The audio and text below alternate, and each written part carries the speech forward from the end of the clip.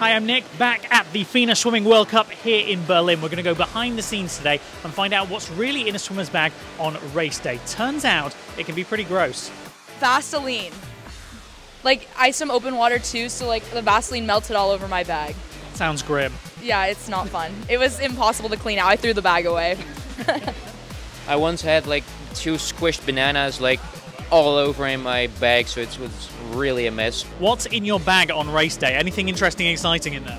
Normal race drinks, suits, massage gun, water, caffeine shots. I've got like uh, for my hair, just to pull it a bit in style. Uh, It's important to look the part as well, that's Yeah. what you're saying. yeah, exactly, exactly.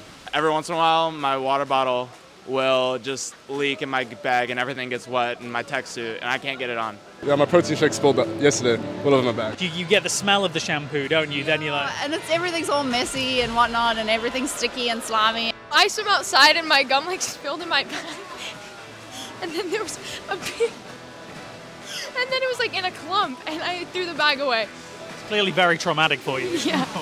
You just get on with it, don't you? Exactly, exactly. We just had to race and have a good time. So essentially, you're not really a swimmer if you haven't had some sort of food related bag disaster. That's what we learned today. For more videos like that, head to FINA's social media channels YouTube, Facebook, Twitter, Insta. You know the score.